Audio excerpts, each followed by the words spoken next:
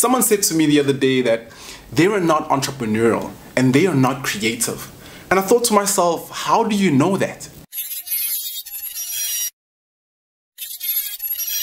Assume you know nothing because the honest truth, you know so little it's actually very close to knowing nothing at all.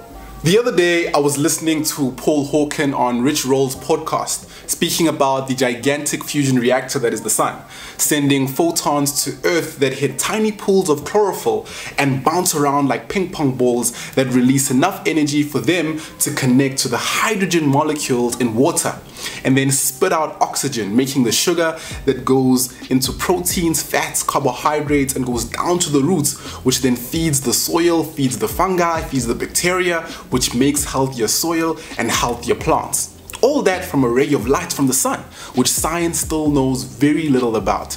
Someone said to me the other day that they are not entrepreneurial and they are not creative. And I thought to myself, how do you know that? Maybe it's not that you're not a painter, musician, or whatever possibility you ruled out in your life, but maybe it's because you haven't exposed yourself to the kind of fusion reactor to inspire you with the energy to try, suck, learn, and get better. There are so many books, videos, podcasts, and people out there to bounce off ideas and guidance like a photon in a tiny pool of chlorophyll.